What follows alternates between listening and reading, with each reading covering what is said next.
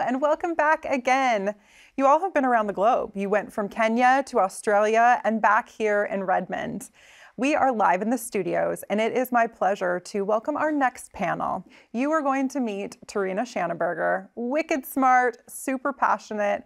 Tarena is the powerhouse leader of a tremendous program that we call our neurodiversity hiring program. She's going to join us with a few friends to talk about neurodiversity and AI.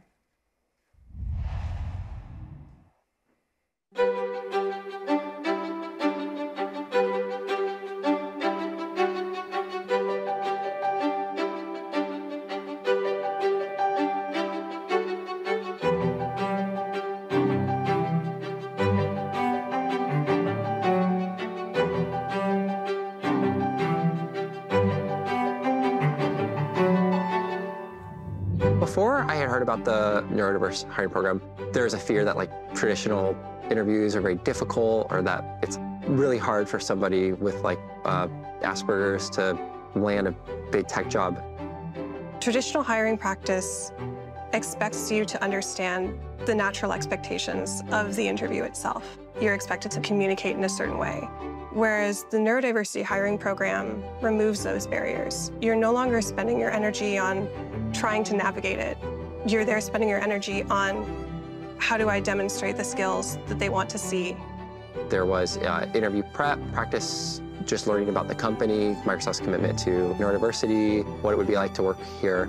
We run regular hiring events for roles in our corporate offices, everything from engineering to program management, customer service, sales, and finance.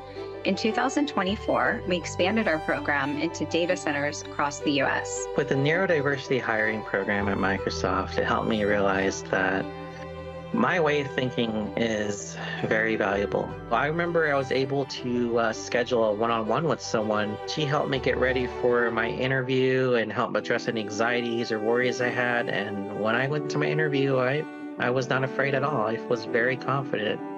If you need a distraction free work environment or uh, dim lighting, things like that, uh, you can ask for it.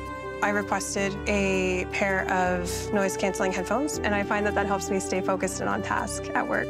Another accommodation I never asked for, but very grateful for is Copilot. Being able to take notes during a meeting so I can stay focused in and engaged in the meeting itself, and then to summarize those notes has really increased my productivity.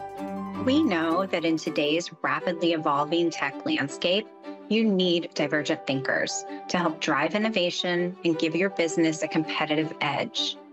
When you foster an environment where neurodiverse individuals can thrive, you're optimizing your workforce and shaping a more dynamic organization. One of the principles with Microsoft is model coach care.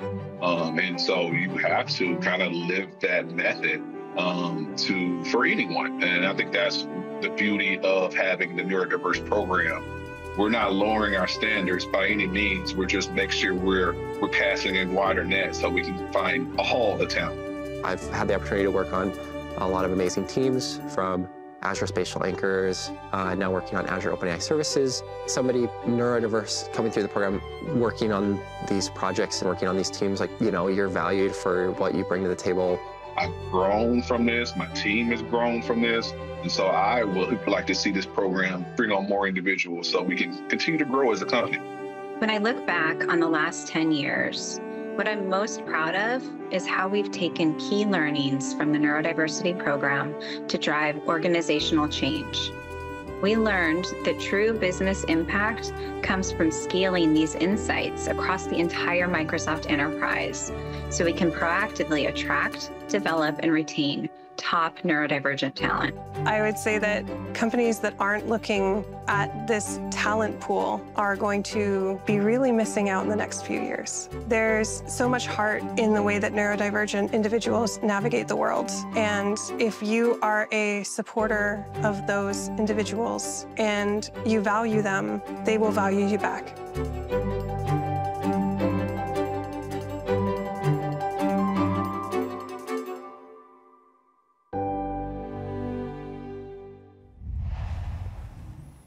Hello, everyone, and welcome. I'm Tarena Shanaberger, Senior Program Manager on the Microsoft Accessibility team. I hope you enjoyed the video celebrating our 10-year anniversary of the program. Over the past decade, Microsoft has been deeply invested in taking the valuable learnings from this program and scaling them across our entire business. In this session, we're going to dive into the role that AI plays in neuroinclusion and simple tips for employers that you can start implementing today. I'm thrilled to introduce our two panelists who will be sharing their experiences and their expertise with us today. Please join me in welcoming Natalie Warden Cowie, software engineer at Microsoft, and Dave Thompson, neurodiversity employment consultant, trainer, and speaker. Hi, Dave. Hi, Natalie. It's great to have Thank you here you. today. Thank you for being here. Uh, Natalie, we're going to start with you. In the opening video, you talked about how you use Copilot in your job. I think it would be great for you to give us some ideas of how you see neurodivergent thinkers benefiting from AI tools. Totally.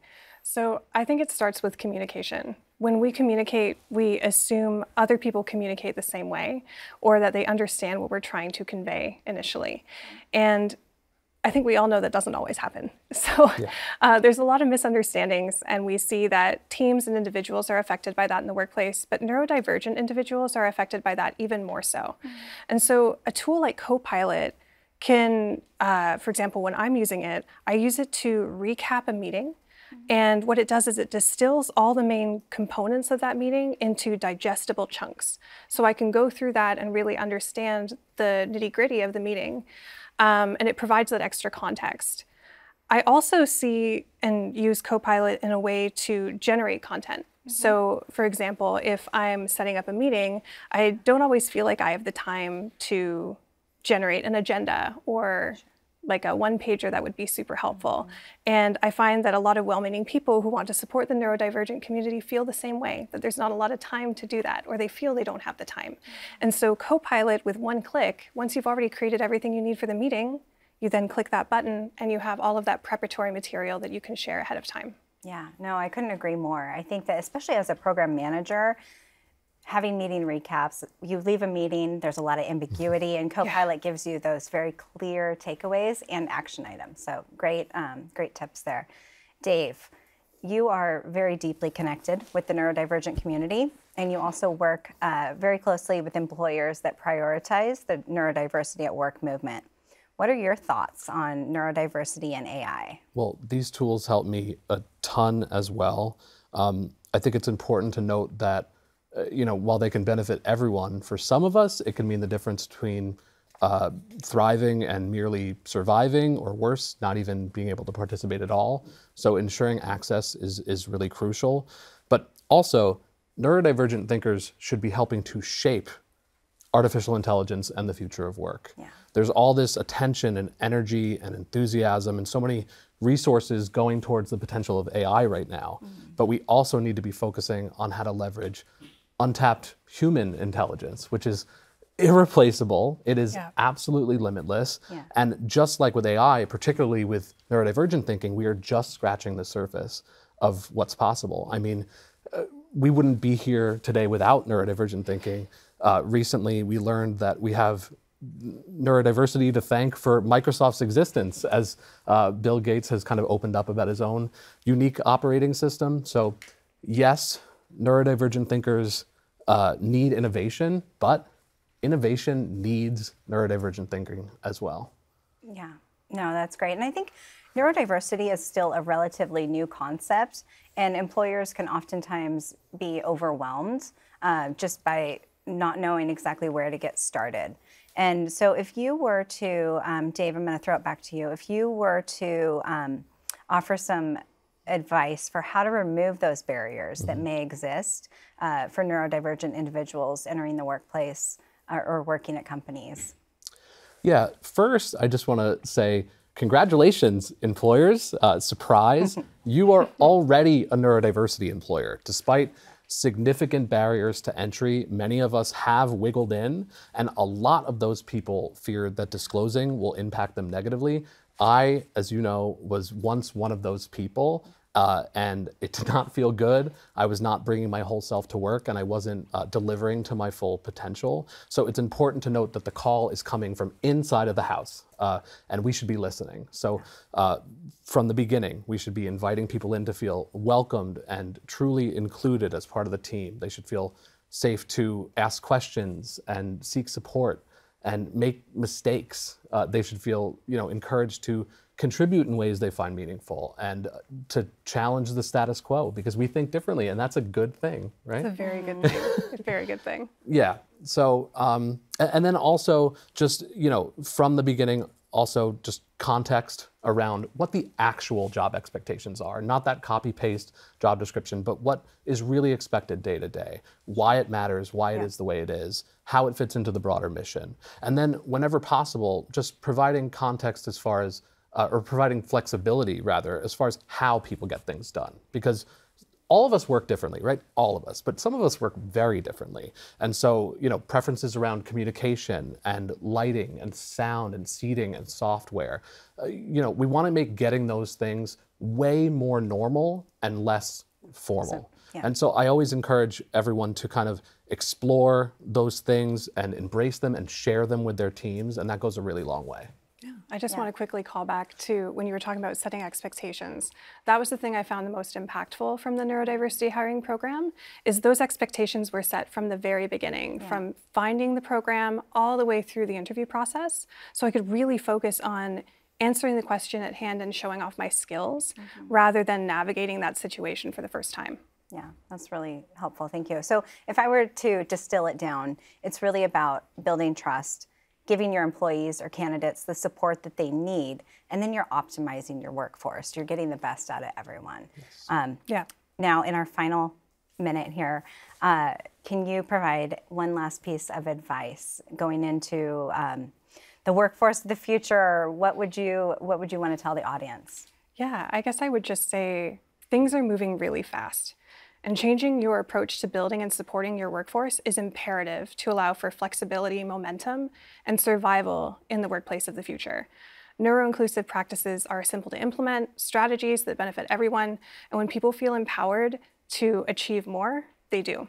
That's great. Thank you, Natalie. I would just say to employers, this is a, a, big, important mission that you should be taking on, but you're not alone uh, tap into the countless resources and conversations happening around the globe on this on this topic. And to uh, neurodivergent job seekers and professionals, please know that you are not a problem to be solved. You are a part of so many solutions. So thank you for thinking differently. Yeah. Thank you both. It's such a pleasure, and I just really appreciate everything that you're doing in this space. So, um, as we close out, we started this session with a video celebrating Microsoft's 10 year anniversary, uh, which actually happens in April, so next month.